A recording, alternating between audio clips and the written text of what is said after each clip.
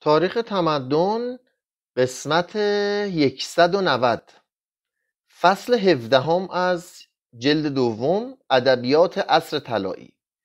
این قسمت آریستوفان. این فصل آریستوفان و جنگ. تراجدی های یونانی از تراجدی های عصر الیزابت تاریکتر و پراندوهترند زیرا عامل آرامش بخش کمیک که در فواصل تراژدی ها می آید و تحمل تماشاگران را در برابر سنگینی تراژدی افزایش می دهد در آن موجود نبود. درامنویس یونانی همواره میکوشید که تراژدی را در مقامی بلند نگاه دارد و کمدی را به نمایش های ساتیریک منحصر ساخته بود. نمایش های ساتیریک در نظر مردم ارج و اهمیتی نداشت و فقط عواطف انگیخته شده تماشاگران تراژدی را فرو می نشاند. در طی زمان کمدی از تراژدی جدا شد و استقلال یافت و در جشنهای دیونوسوسی یک روز مجزا بدان اختصاص یافت در این روز سه یا چهار کمدی از نویسندگان مختلف در پی هم نمایش داده می‌شد و جایزه جداگانه ای به آن تعلق می گرفت کمدی نیز چون خطابه در سیسیل آغاز شد. در حدود سال 484 مردی به نام اپیکارموس که فیلسوف و طبیب و شاعر بود از کوس به سیراکوز آمد و در 35 کمدی به نشر عقاید فیساغورس و هراکلیتوس پرداخت. و مدافع فلسفه خودگرایی شد. ولی از کمدی های او فقط قطعاتی پراکنده در نوشته های دیگران باقی مانده است. دوازده سال بعد از آمدن اپیکارموس به سیسیل آرکون آتن اجازه داد که برای اولین بار گروهی از خوانندگان در اجرای کمدی ها شرکت کنند. این هنر نو از تأثیر دموکراسی و آزادی رشد و تکامل یافت و در آتن وسیله اصلی حجو اخلاقی و سیاسی گردید. آزادی بیانی که در کمدی وجود داشت سنتی بود که از مراسم فالیسیسم جشنهای دیونوسوسی منشأ گرفته بود. سودجویی ناروایی که از این آزادی می‌شد موجب گشت که در سال 440 قانونی وضع شود و حملات شخصی و فردی را در کمدی ها ممنوع سازد. ولی سه سال بعد این قانون لغو شد و انتقاد و دشنامگویی آزادانه تا زمان جنگ های پلوپونزی ادامه یافت. کمدی از لحاظ انتقاد سیاسی در یونان قدیم همان مقامی را داشته است که امروز مطبوعات آزاد دموکراسی های جدید دارند. پیش از آریستوفان کمدی نویس های بسیار بودند. حتی این رابلایس نویسنده و پزشک فرانسوی 1490 الی 1553 کتاب گارگانتوا و پانتاگروئل که مال ایشونه داستانی است سراسر تنز و حجم و تشکیلات سیاسی و اجتماعی و مذهبی فرانسه قرن شانزدهم را به شدت مورد انتقاد قرار داده است. خب حالا حتی این رابلایس بزرگ باستانی پس از آنکه گرد و غبار جنگ هایی که با آنان کرده بود فرو نشست به ثناگویی برخی از ایشان رضا داد. کراتینوس مدافع کیمون بود و بر ضد پریکلس سخت به جنگ برخاسته بود. وی پریکلس را خدای قادر دارنده سر پیازی شکل مینامید. اما زمان پرعطوفت ما را از خواندن آثار وی نیاز کرده است. یکی دیگر از پیشقدمان این هنر فرکراتس بود که در حدود سال 420 نمایشنامه هایی نوشت به نام مردان وحشی و در آن آتنیانی را که به اعتراف خود از تمدن بیزار و آرزومند بازگشت به طبیعت بودند مورد حجو قرار داد. ابداعات جوانان ما این همه سابقه دارد. تواناترین رقیب آریستوفان یوپولیس نام داشت. این دو کمدی نویس نخست به یاری یکدیگر کار می‌کردند. سپس با هم به نزاع برخواستند و جدا شدند و سرانجام به حجو یکدیگر پرداختند. اما هر دو به شدت از حزب دموکراتیک انتقاد می‌کردند و در این مورد با هم توافق کامل داشتند. در طی قرن پنجم کمدی بدان جهت با دموکراسی خصومت داشت که شاعران مالدوست بودند و ثروت نیز در دست اشراف بود. اما علت اصلی آن بود که کمدی می‌خواست با انتقاد و اعتراض مردم را خوشنود سازد و در آن هنگام حزب دموکراتیک صاحب قدرت بود. از آنجا که پریکلس رهبر حزب دموکراتیک با عقاید تازه‌ای چون آزادی زنان و رشد و اشاعه فلسفه عقلی موافق بود کمدی نویسان با اتفاقی مشکوک در برابر هر گونه اصلاح اساسی صف کشیدند و بازگشت به آداب و رسوم و اصول اخلاقی مردان ماراتون را خواستار شدند. آریستوفان مبلغ این نظر ارتجاعی بود چنانکه سقرات و اوریپید از افکار و عقاید نو هواداری می‌کردند. سرانجام صحنه تئاترهای کمدی میدان جدال دین و فلسفه گردید. آریستوفان را از اینکه دلبسته آریستوکراسی بوده است باید معذور داشت. وی از خاندانی فرهیخته و دولتمند برخواسته بود و چنین به نظر می آید که خود در آیگینا زمین داشته است. نام او نیز بر اصالت و نجابت خانوادگیش دلالت دارد. زیرا آریستوفان یعنی بهترین پدیدار شده.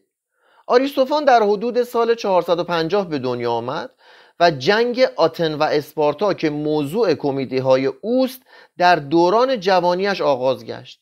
آمدن سپاهیان اسپارتا به آتیک موجب شد که وی مزارع خود را ترک گوید و در آتن اقامت گزیند. وی زندگی شهری را دوست نمی داشت و از اینکه ناگهان مجبور شده بود که با مردمان مگارا و کورینت و اسپارتا کینه بورزد آزرد خاطر بود. آریستوفان کشتار یونانیان به دست یونانیان را مزموم میشمرد و در نمایشنامه های خود پی در پی مردمان را به صلح و دوستی دعوت می‌کرد پس از مرگ پریکلس در 429 کلئون دباغ و ثروتمند فرمانروای مطلق آتن شد. کلئون نماینده منافع تاجرانی بود که می‌خواستند اسپارتا یک سره از میان برداشته شود و آتن بر سراسر یونان حاکم گردد. آریستوفان در یکی از کمیدی های خود که بابلیان نام داشت در 436 و اکنون در دست نیست کلئون و تدابیر او را چنان سخت به مسخره گرفت که فرمانده کل او را به جرم خیانت تحت تعقیب قرار داد و به پرداخت جرمانه مجبورش ساخت. اما دو سال بعد آریستوفان در نمایش نامه شه سواران انتقام خود را باز گرفت قهرمان اصلی این درام دموس و یا توده مردم نام داشت. و کارگزار او مردی بود که دباغ خوانده می‌شد. شک نیست که هر کس کنایه روشنی را که در این نمایشنامه بود در میافت حتی کلئون خود از تماشاگران این نمایش بود. تندی و شدت این حجویه چنان بود که هیچ بازیگری از بیم اقاب سیاسی جرأت نداشت که نقش دباغ را در نمایش به عهده گیرد. از این روی آریستوفان خود در این نقش بازی می‌کرد. نیکیاس نام فرضی و ساختگی جبهه اولیگارشیک. اعلام می دارد که یکی از غیبگویان به او گفته است که دومین فرمانده خاندان دموس قرم فروش خواهد بود. این پیشگویی تحقق میپذیرد و گروهی از بردگان قرم فروش را چنین شاد باش می‌گویند. درود بر کسی که فرمانده آتن پرشکوه ما خواهد بود. قرم فروش در جواب می‌گوید برای خدا مرا به ریشخند مگیرید. بگذارید که بروم و شکمبه های خود را بشویم. اما مردی به نام دموستن به او اطمینان می‌دهد که شایستگی این مقام در او هست زیرا که مردی است رزل و جاهل. دباغ که مقام خود را در خطر می‌بیند به شرح خدمات خود می‌پردازد و وفاداری خیش را نسبت به دموس اظهار میدارد و چنین ادعا می کند که جز روسپیان هیچ کس چون او به دموس خدمت نکرده است. در این وقت مزحکه آریستوفانی به وجود می آید قرم فروش با شکمبه بر سر دباغ میکوبد و با خوردن مقداری سیر خود را برای مسابقه خطابه در مجلس آماده می سازد مسابقه شروع می شود و دباغ و قرم فروش میکوشند که در چاپلوسی کردن بر یکدیگر پیشی گیرند. برنده مسابقه کسی است که دموس را بیشتر متوسنا گوید و برای خوشنود ساختن خاطر دموس و ارزای شکم وی شایسته تر باشد. هر دو رقیب مقدار کثیری تحفه و ارمغان با خود می آورند و قبل از انتخاب به دموس تقدیم می دارند قرم فروش پیشنهاد می کند برای تشخیص امانت و درستکاری هر یک از داوطلبان خزانه های آنان مورد تفتیش قرار گیرد. در خزانه دباغ مقدار کثیری خوراک های لذیذ و یک پاره نان قندی بزرگ یافت می شود و معلوم می گردد که وی از این نان قندی تنها یک قطعه بسیار کوچک جهت دموس بریده و آورده. اشاره به تهمتی بود که در آن روزها بر کلئون وارد می ساختند و می گفتند که بخش بزرگی از اموال دولتی را دزدیده و به خود اختصاص داده است. از این رو دباغ از کار برکنار و قرم فروش به کارگزاری و صاحب اختیاری خانه دموس انتخاب می شود کمدی زنبوران سال 422 نیز دموکراسی را مورد حجو قرار می دهد اما با شدت و تندی کمتر. گروه همسرایان جمعی از شهروندان بیکاره را به شکل زنبور نمایش می دهد که همگی میکوشند از طریق قضاوت و عضویت دادگاه. روزی یکی دو اوبولوس کسب کنند. به سخنان چاپلوسان گوش دهند و با اخذ جرمانه و مصادره اموال پول دولتمندان را در خزانه دولت و کیسه فقرا بریزند. اما باید دانست که آریستوفان در نخستین کمدی های خود فقط می‌خواسته است که جنگ را مذمت و صلحجویی را ترویج کند. قهرمان کمدی آکارنایان 425 که پلیس یا شهروند درستکار نام دارد مردی زارع و شکایت از این دارد که سربازان کشزارش را ویران کردهاند. و در باغ او دیگر انگوری نمانده است که از فشردن آن شراب به دست آورد. داشتا پلیس هیچ علتی برای جنگ نمی بیند و خوب آگاه است که خودش با اسپارتیان جنگی ندارد.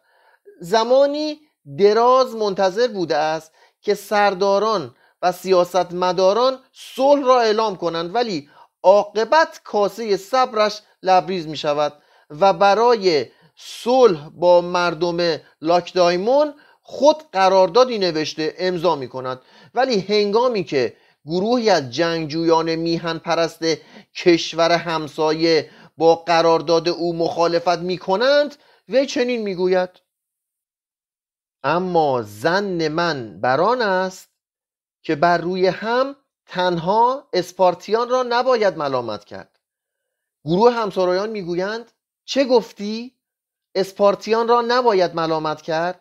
ای رزل بی سر و پا چگونه جرأت می‌کنی که در برابر ما خائنانه سخن بگویی؟ گمان می‌کنی که از خون تو خواهیم گذشت؟ پلیس می‌گوید اگر مدلل نساختم که آتن نیز چون اسپارتا سزاوار ملامت است خونم را بریزید. سپس گردنش را بر روی تخته ساتور می‌گذارند تا بحث و استدلال خود را آغاز کند. اما در این موقع یکی از سرداران آتنی که شکست خورده است خشمگین و کفگویان وارد می شود گروه جنگجو از دیدن وی آشفته می گردد و دایستاپولیس که شراب صلح می فروشد و مردمان را با آن شادی می بخشد از مرگ رهایی می یابد نمایش دادن این کمدی محتاج جرأت و شهامت بسیار بود و فقط در جای امکان داشت که تماشاگران به شنیدن سخنان طرف مخالف عادت کرده باشند. در کمدی رسم بران بود که نویسنده با کنایه و ابهام و از زبان گروه همسرایان یا به وسیله یکی از قهرمانان تماشاگران را مورد خطاب قرار دهد. آریستوفان از این خاصیت استفاده کرد و گفت من در میان آتنیان خرمگس موسیقی هستم. شاعر ما از آن روز که به نمایش کمدی های خود پرداخت تا کنون هرگز خیشتن را در صحنه تئاتر نستوده است. ولی خود معتقد است که نیکی های بسیار در حق شما کرده. اگر دیگر فریب بیگانگان را فراوان نمی‌خورید اگر دیگر تملق چاپلوسان شما را قره نمی کند و اگر در سیاست دیگر کودکان پیشین نیستید بدانید که همه از برکت وجود اوست.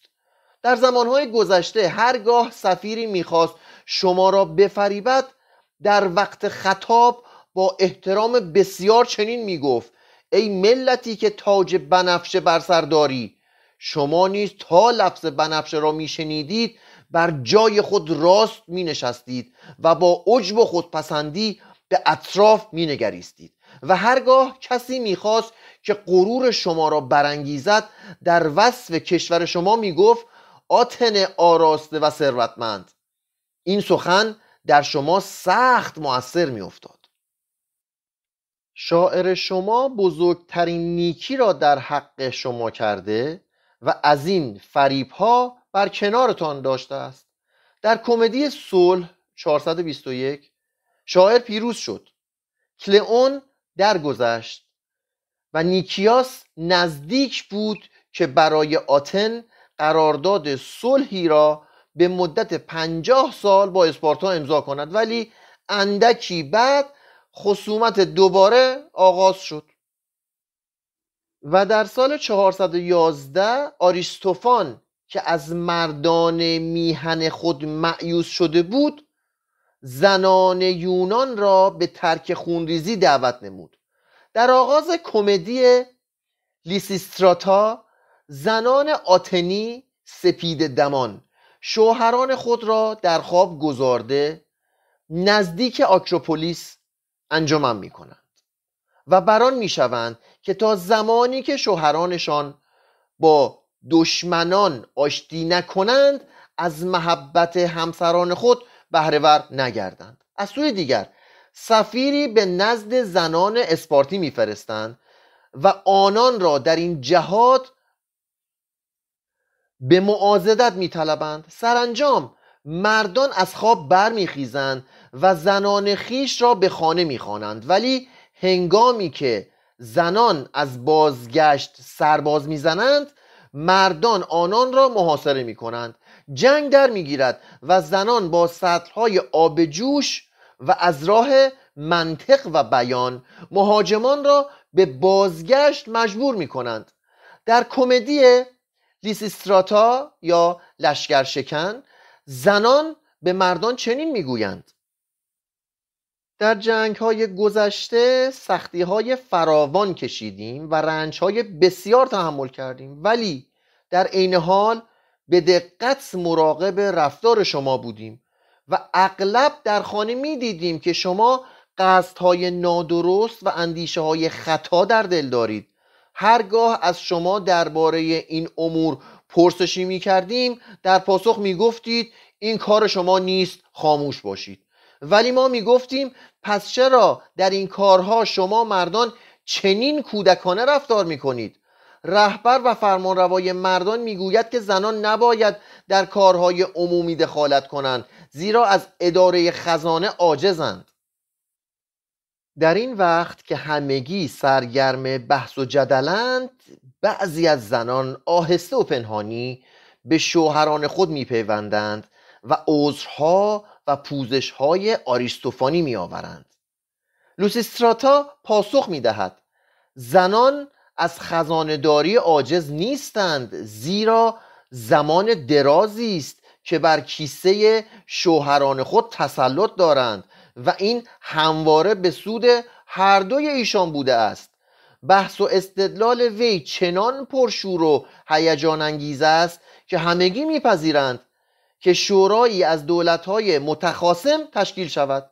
هنگامی که نمایندگان دولتها حاضر می‌شوند لوسیستراتا همه را از باده سرمست می کند و در حال شور و نشاط قرارداد صلح را منعقد می سازد گروه همسرایان نیز در پایان نمایش سرودی در ستایش صلح می سراید قسمت بعد آریستوفان و رادیکال ها آریستوفان در پشت پرده فساد و تباهی حیات اجتماعی آتن دو علت اساسی مشاهده می‌کرد. یکی آزادی و دیگری بدبینی. وی با سقرات در این عقیده موافق بود که تفوق و سیادت مردم به حکومت سیاستمداران منجر و مبدل شده است. ولی اعتقاد او بر این بود که بر اثر شکاکیت سقرات و آناکساگوراس و سوفستاییان مبانی اخلاقی مردمان که زمانی موجب نظام اجتماعی و استقلال فردی بود یک سره متزلزل شده است. در کمدی ابرها فلسفه جدید را به شدت انتقاد می کند مردی قدیمی به نام سترپسیادس در جستجوی دلیلی است که بدان وسیله از پرداخت وامهای خیش استنکاف ورزد. چون میشنود که سقرات برای اثبات هر ادعا حتی ادعاهای نابجا و نادرست دکان استدلال و تفکر باز کرده است سخت خوشنود می شود سپسیادس به مدرسه سخت اندیشان راه مییابد. سقرات را می‌بیند که در میان مجلس درس در زنبیلی که از سقف آویخته شده نشسته و غرق تفکر است. برخی از شاگردانش نیز خم شده بینی های خود را بر زمین گذاردند سترپسیادس این مردم که چنین شگفتانگیز قدم خم کرده اند چه می کنند؟ شاگرد. اینان در اسراری که از تارتاروس ژرفتر است قوتورند سترپسیادس اما ببخشید ولی چرا قسمت تحتانی بدن خود را چنین در هوا کردند شاگرد. زیرا قسمت های دیگر بدنشان به مطالعه نجوم مشغول است. سپسیادس از سقرات درس می‌خواهد. سقرات به کدام خدایان سوگن می‌خوری؟ زیرا نزد ما هیچ خدای معتبر نیست. سپس به سوی گروه ابرها اشاره می‌کند. خدایان برحق اینانند. سرپسیادس پس زئوس چیست؟ سقرات زئوسی در کار نیست. سرپسیادس پس باران از کجاست؟ سقرات این ابرها آیا هرگز دیده ای که آسمان بی ابر هم باران بفرستد؟ سرپسیادس پس اینک بگو که قررش تندر از کجاست؟ من از صدای آن به لرزه میافتم. سقرات ابرها میغلطند و تندر پدید میآورند. سرپسیادس چگونه؟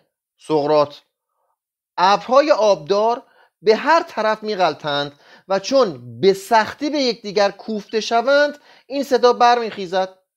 سرپسیادس پس کیست که آنها را می جنباند و میراند؟ آیا این زئوس نیست؟ سقراط نه هرگز این باد است که ابرها را به جنبش می آورد سرپسیادس بزرگترین خدایان همین باد است اما قررش رد از چیست سقراط من اینک علت آن را از روی وجود خودت به تو خواهم آموخت آیا هرگز پس از آنکه در زیافتی شکمت از آش پر شده اختلالی در معده خیش احساس کرده ای؟ و آیا هرگز مقداری از آن جوش و خروش درونی ناگهان به شدت از تو خارج شده است؟ در صحنه دیگر فیدیپیدس فرزند استرپسیادس استدلال بجا و استدلال نابجا را در صورت آدمیان می‌بیند. استدلال بجا به او می‌گوید که تو باید فضایل رواقی مردان ماراتون را پیروی کنی. اما استدلال نابجا قانون اخلاقی تازه را به او پیشنهاد می‌دهد. استدلال نابجا از او می‌پرسد که آدمیان از عدل و فضیلت و اعتدال چه سودی بردند؟ در ازای یک مرد با تقوا و فضیلت که موفق و محترم باشد همیشه ده مرد بی فضیلت و بی تقوای موفق و محترم وجود داشته است. خدایان را در نظر بگیر. همگی دروغ می‌گفتند. دزدی می‌کردند. به جنایت و زنا دست می‌زدند و همیشه معبود جمله یونانیان بودند. هنگامی که استدلال بجا بر اینکه قالب مردم موفق و محترم نادرست و بیتقوا بوده اند خورده می‌گیرد استدلال نابجا چنین می‌گوید؟ استدلال نابجا آیا میدانی که قاضیان ما از کجا برخواسته اند؟ استدلال بجا آری از میان عرازل استدلال نابجا شک نیست. اکنون بگو که شاعران تراژدی نویس چه کسانی هستند. استدلال بجا عرازل استدلال نابجا و همه خطیبان ما. استدلال بجا همگی عرازلند استدلال نابجا اکنون به اطراف خود بنگر برمیگردد و به تماشاگران اشاره می کند دوستان ما که در این مجلس گرد آمده اند بیشتر از کدام دستند استدلال بجا. به دقت تماشاگران را می نگرد اکثریت با عرازل است. فیدیپیدس چنان شاگردی استدلال نابجا را به جان میپذیرد که پدر خیش را لگتکوب می کند زیرا هم توانایی این کار را دارد و هم از آن لذت می‌برد. از پدر می‌پرسد مگر تو نبودی که مرا در دوران کودکی با چوب و لگد می‌زدی؟ استرپسیادس بینوا فرزند خود را به زئوس سوگن می‌دهد ولی فیدیپیدس می‌گوید که دیگر زئوسی در کار نیست و جای آن را باد گرفته است. استرپسیادس خشمگین و آشفته در کوچه و بازار میدود و مردم را به ویران ساختن این مدرسه و برانداختن فلسفه نو دعوت می کند مردم به سوی دکان استدلال و تفکر حمله ور می شوند و آن را آتش می زنند و سقرات به دشواری از محلکه می گریزد اما درست نمی‌دانیم که این کمدی در پدید آوردن تراژدی مرگ سقرات تا چه حد مؤثر بوده است. کمدی ابرها در سال 423 به روی صحنه آمد و 24 سال بعد از آن محاکمه مشهور سقرات روی داد. شوخ طبعی و تنز و لطیفه ای که در آن بود فیلسوف ما را رنجیده خاطر نساخت. روایت شده است که سقرات خود در مجلس نمایش حاضر شده بود تا دشمنان خود را بیشتر خشمگین سازد. از قراری که افلاتون بیان می کند سقرات و آریستوفان حتی پس از اجرای این نمایش نیز با یکدیگر دوستی داشتند افلاتون نیز خود نزد دیونوسوس اول فرمانروای سیراکوز کمدی ابرها را می ستاید و پس از مرگ استاد خیش با آریستوفان دوستی می کند کسانی که در سال 399 سقرات را متهم ساختند سه تن بودند. یکی ملتوس بود که در وقت نمایش کمدی ابرها کودکی بیش نبود و دیگری آنوتوس نام داشت که پس از آن نمایش با سقراط دوست شد. احتمال بیشتر بر آن است که گردش و رواج بعدی این کمدی به عنوان یک اثر ادبی در محکومیت سقرات سهم مؤثرتری داشته است. چنانکه افلاتون در دفاعیه سقرات نقل می کند سقرات خود این نمایشنامه را یکی از علل اصلی بدنامی خیش دانسته و گفته است که تعصب قاضیان بدان سبب برانگیخته شده است. کس دیگری که در آتن آن زمان هدف تیرهای حجو و انتقاد آریستوفان قرار گرفت اوریپید بود. اما در این مورد هیچ جای آشتی باقی نمانده بود. آریستوفان شکاکیت سوفستاییان و فردگرایی اخلاقی و اقتصادی و سیاسی موجود را که اساس حکومت و اجتماع را متزلزل ساخته بود نکوهش می‌کرد. به آزادی زنان که موجب تحریک و شورش این جنس شده بود و با احساسات شدید از آن سخن گفته می‌شد بدبین بود. و نهزت سوسیالیستی آن روز را که موجب تقیان بردگان می‌شد نمیپسندید. آریستوفان همه این بلاها و پلیدیها را در آثار اوریپید مجسم می‌دید. و بر سر آن بود که با استهزا و ریشخند تأثیر درام های آن شاعر بزرگ را در اسهان مردم یونان خونسا کند. وی در سال 411 با کمدی تسمو فوریازوسای به حجو اوریپید پرداخت. عنوان این نمایشنامه را از نام زنانی که با خودداری از امور جنسی برای دمتر و پرسفونه جشن گرفته بودند اخذ کرد. در آغاز نمایشنامه زنان خیشتندار و فداکار گرد هم نشسته مشورت می کردند که از اوریپید که زنان را حجو کرده است چگونه انتقام بگیرند؟ اوریپید از قصد آنان با خبر می شود و پدر زن خود را که منسلوکوس نام دارد در لباس زنان به میان ایشان میفرستد تا از وی دفاع کند. یکی از زنان شکوه از آن دارد که اوریپید وی را از کسب معاش محروم ساخته است زیرا که وی پیش از آن برای معابد تاج گل می ساخته و بدان وسیله زندگی می کرده است. اما از روزی که این شاعر درام نویس گفته است که خدایانی وجود ندارند بازار این کسب کساد شده است. منسیلوکوس در دفاع اوریپید می‌گوید که هر آنچه این شاعر درباره زنان گفته است بی تردید درست است. و حتی از آنچه زنان خود درباره خطاهای خیش می‌دانند نرمتر و ملایمتر است. زنان بر منسلوکوس بدگمان می‌شوند جامعه وی را میدرند و آهنگ بریدن آلتش را می‌کنند. منسلوکوس برای نجات خیش کودکی را از آغوش زنی میرو باید و می‌گوید که اگر به وی نزدیک شوند کودک را خواهد کشت. اما زنان دوباره به وی حمله ور می شوند مینسلوکوس پوشش کودک را برمیگیرد و ناگهان در میابد که آن زن مشک شراب را در پارچه پیچیده و به صورت کودکی درآورده است تا از پرداخت مالیات بگریزد.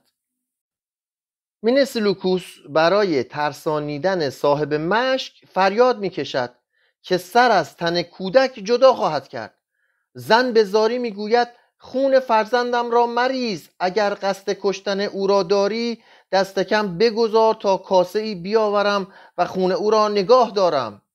مین سلوکوس با آشامیدن شراب به جنگ و ستیز پایان می‌دهد و در ضمن کار کسی را به نزد اوریپید میفرستد تا به یاریش بشتابد. اوریپید در موارد مختلف به صورت قهرمانهای تراژدی های خود گاه به صورت منلاوس و گاه به صورت پرسئوس و گاه در لباس اکو در این کمدی ظاهر می شود و سرانجام مینسیلکوس را از مهلکه نجات می بخشد آریستوفان حتی پس از مرگ اوریپید وی را در کمدی قوکان مورد حمله قرار می دهد دیونوسوس خدای این نمایشنامه از درام نویسانی که در آتن باقی مانده اند خوشنود نیست و به جهان دیگر می رود تا اوریپید را بازگرداند.